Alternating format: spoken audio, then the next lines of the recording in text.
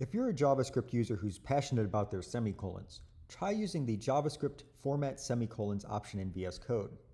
By default, VS Code does not care if you use semicolons or don't in your file, so long as the resulting code is syntactically valid.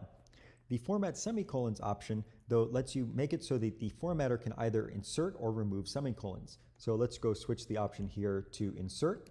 You'll notice that this line right here does not have a semicolon, and if I run format, a semicolon has been inserted. And try removing a few more here. Get rid of those, and I run format again. Semicolons have been added in all those cases as well. If we then change the setting to remove instead, now when I run format, VS Code goes and removes all these semicolons. And if I try adding one back, run format again, it has been removed again.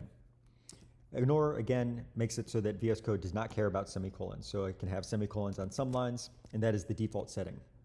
There's also a corresponding TypeScript format semicolon option for TypeScript files. So that is the JavaScript format semicolons option. Extensions such as Prettier or ESLint can also help you with this, and they can even alert you when you have a semicolon that shouldn't be there or when you're missing one.